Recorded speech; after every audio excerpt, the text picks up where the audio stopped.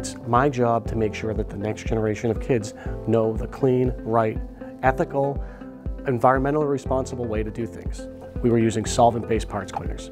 The problem with them is uh, they're bad for your health, they're bad for the environment. It's very dangerous, it smelled really strong, and if you ever got anything on you, uh, you'd always have to wash and you'd always have to be very careful and wear gloves all the time. The TURI grant bought us the smart washers. It's water-based, it has a detergent in it, and it also has microbes, and the microbes ingest the oil, they eat it. They eat the grease and they eat the oil in it.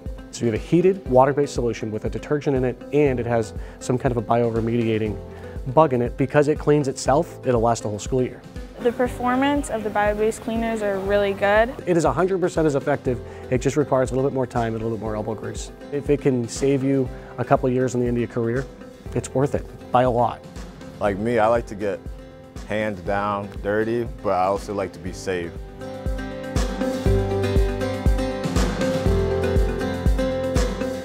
We can teach our kids anything in the four years that they're here. It's about keeping safe. Teaching them about what their body takes in, how that, that body works as a filtering system, and how they need it for the, you know, if they're going to stay in this business or profession the length of their lives to keep themselves as healthy as possible.